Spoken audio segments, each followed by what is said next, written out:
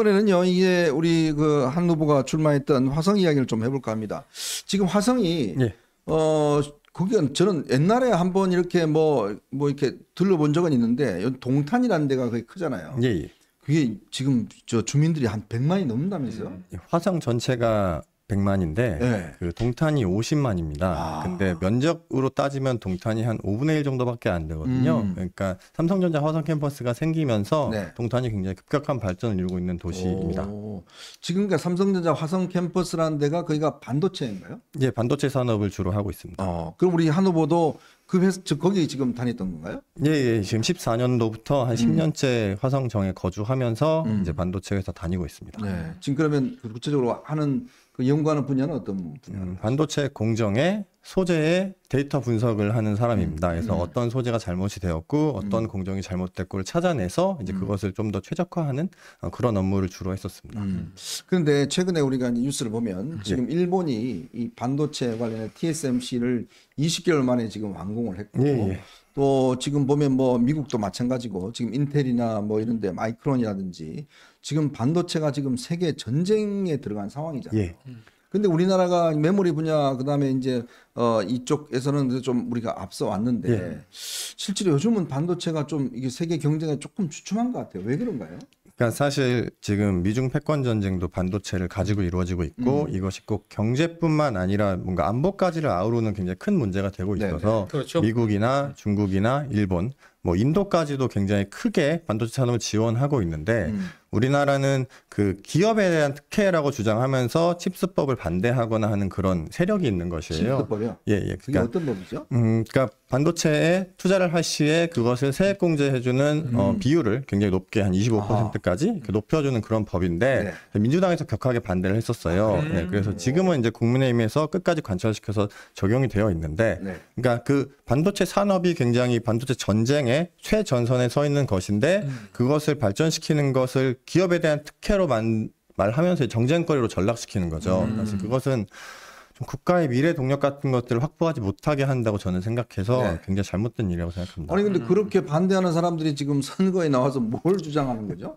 그래서 이원욱 의원님께서 이제 삼선 하시면서 네. 어, 동탄에 뭔가 반도체 인프라 관련해서 하시, 해주신 것이 별로 없거든요. 어, 이원욱 의원이 거기 삼선을 해- 아, 한 거군요. 예, 화성 화성을에서 그러니까 음. 지금은 정이 분구될 거지만 네네. 삼선을 하셨는데 뭐 기업 친화적이지도 않고 도시가 음, 음. 어, 과학기술 친화적이지도 않습니다. 뭐 네. 과학기술 선단 대학 캠퍼스도 유치도 못했고 음. 그래서 이제 이번에 어, 첨단 전략 산업 특화단지 음. 이게 용인과 평택만 지정이 되고 화성은 지정이 되지 못했어요. 아? 예, 예.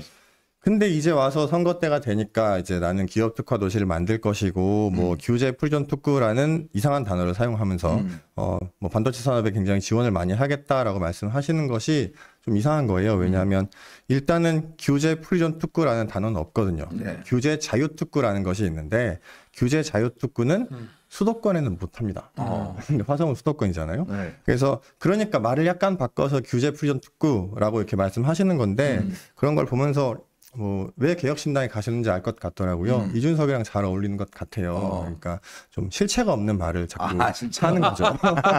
아, 그래서 둘다 아, 네. 언어의 마술사구나. 어, 잘 어울린다. 음. 뭐 그런 생각을 하고 있습니다. 음. 근데 그 칩스법을 왜 민주당 의원들은 그렇게 반대를 하는 겁니까 이게?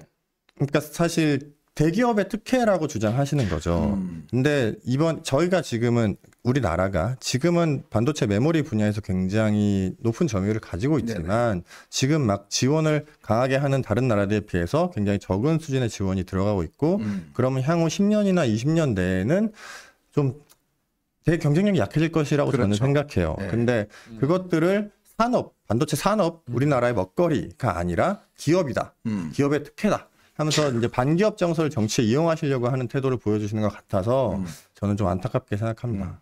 지금 보면 일본은 노골적으로 사실 반도체 분야는 정경 유착을 하잖아요. 예, 예. 지금 보면 이번에 뭐 어, 구마모토인가요? 거기에 이제 TSMC 회사를 만들었고 지금 홋카이도 부분에도 또 어마어마한 지금 이제 반도체 벨트를 만들고 있잖아요. 예. 왜냐하면 일본이 우리나라에 비해서 반도체 선기를 뺏긴 다음에 수십 년을 고생을 했습니다. 음. 자 그러다가 지금 일본이 이제서야 이제 정신을 차려서 아예 정부가 그냥 완전히 빼가벗고 지금 투자를 하고 있는 네. 거예요. 네, 네, 네.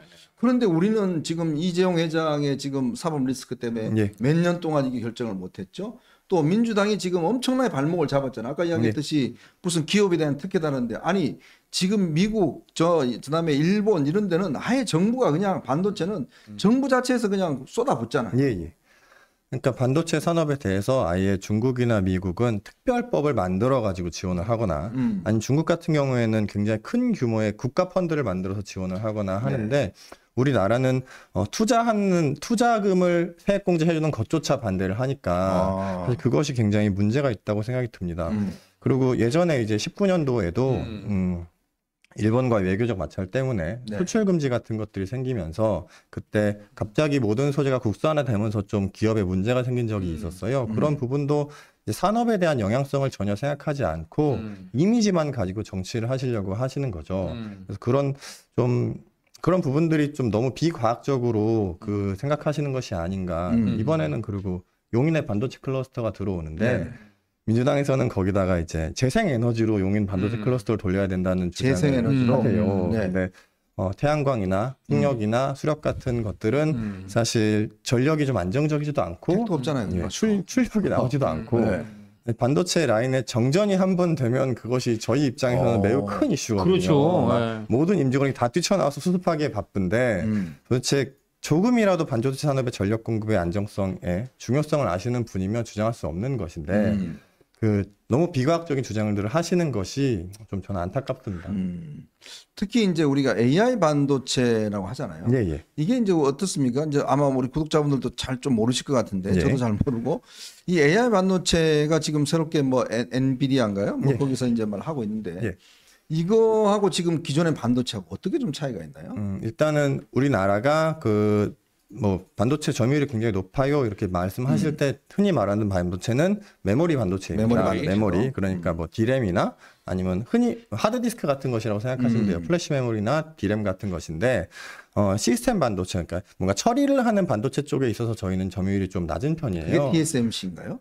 예, 약간 foundry, foundry가, TSMC 예, 맞습니다. 파운더리. 예. 거예요. TSMC는 업체를 음. 예, TSMC 어쨌든 그 시스템 반도체 그거 하는 데죠? 산업체입니다. 근데 사실 반도체가 100이라고 봤을 때 음. 메모리는 한 30 정도 되는 거예요. 음. 그러니까 시스템 반도체가 훨씬 많이 있거든요. 그래서 아. 그 부분에 있어서 저희가 강화를 할 필요가 있는 것이고 음. 그래서 이번에 용인 클러스터 같은 걸 만들 때도 그쪽을 강화해야 된다. 그런 의미에서 이제 강력하게 추진하고 있는 중입니다. 음.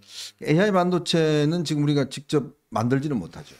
어, 물론 만들 수는 있을 텐데 아. 이제 수율이나 뭐 공정 같은 것들을 좀 더 고도화할 필요는 있어 보입니다. 음.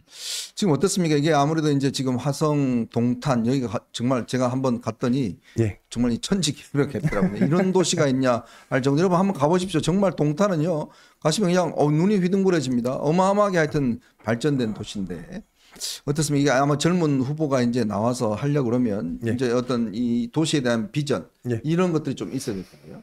네, 일단은 저희 비전은 어, 반도체 패권 국가와 교육 수도 동탄이라는 슬로건을 사용하고 있습니다. 음. 어, 왜냐하면 반도체, 그러니까 삼성전자 화성 캠퍼스가 음. 어, 이제 점점 점점 늘어 규모가 늘어나면서 음. 인구가 많이 유입되고 음. 그분들이 받는 수익이 이제 지역에 퍼지는 효과가 있었다고 생각을 네네. 하는데 지금은 그 부지가 꽉, 꽉 찼습니다. 아, 음. 더 이상 뭘 더 지을 수가 없는 상황이에요. 네. 어, 그러니까 양적 확장이 불가능하니까 음. 아까 말씀드린 것처럼 세제 혜택이나 규제 혁신이나 보조금 등을 통해서 음. 뭔가 질적으로 성장할 수 있는 기반을 만들어 주어야 해요. 네. 그래서 그렇게 동탄에 화성 캠퍼스가 좀 더 고수익을 가지게 되면 이제 화성시에 더 많은 법인세가 들어올 것이고 음. 좀 그것을 기반으로 교육 인프라를 확충하고 싶습니다. 일단 음. 재원이 확보돼야 무엇을 할 수 있는 것이니까요. 그래서 동탄은 교육에 대한 관심이 매우 높아요. 아까 아. 말씀하셨다시피 젊은 부부가 매우 많아가지고요. 그렇죠. 그래서 어, 음, 이제 반도체 산업 관련된 반도체 특성화 고등학교도 만들고 음. 동탄의 자랑이 국제고도 있으니까 음. 국제고와 연계한 초등, 중, 중등을 포함한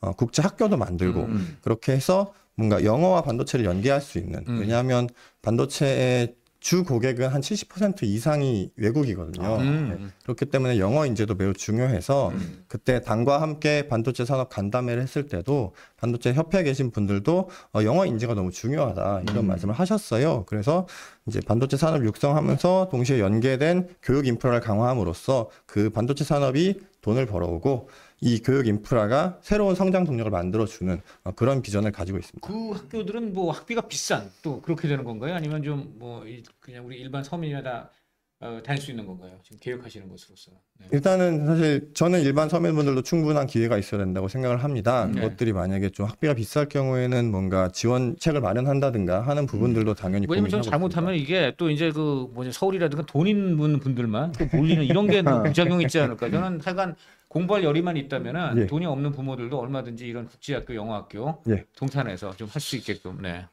뭐 이번에 보면 어쨌거나 국가 이번 총선이 우리가 뭐 제2의 건국 전쟁이다라는 이야기를 하지 않습니까? 네. 그 이유는 뭐 이념적인 이런 부분도 있겠지만 산업적으로 보자면 정말 대한민국의 새로운 먹거리들을 만들어내고 그럼요. 그 먹거리를 만들어낼 수 있는 이제 기반들 그게 이제 사실은 용인이나 화성이나 이런 동탄? 어떤 네. 동 이런 부- 부분들이 이제 발달되는 거기에 바로 이제 이런 젊은 인재들이 들어가서 네. 정말 이 도시를 새롭게 만들어내고 또 이렇게 활력을 불어넣는 이런 일을 해야 되는 거거든요. 그렇죠.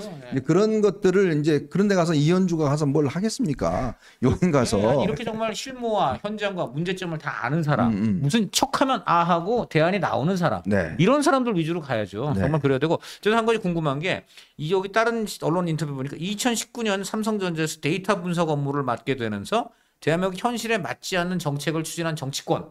당신은 이제 문재인 정부 때인데 예. 분노했다고 그래서 구체적으로 뭐에 분노한지 좀 구체적으로 설명을 좀 해주십시오. 예, 아까 잠깐 언급 드렸었던 그 일본 반도체 소재 수출 수입 수출 금지. 음. 예, 아, 그때 아, 당시에 네. 제가 소재에 대해 관련된 데이터를 분석하는 사람이었습니다. 네. 그러니까 갑자기 모든 소재가 수출이 그러니까 수입이 불가능해지면서 일본의 이제 그 보복으로. 예, 맞습니다. 그래서, 그래서 네. 저희 모든 소재를 이제 국산화를 해야 되는 상황이 되어서 네.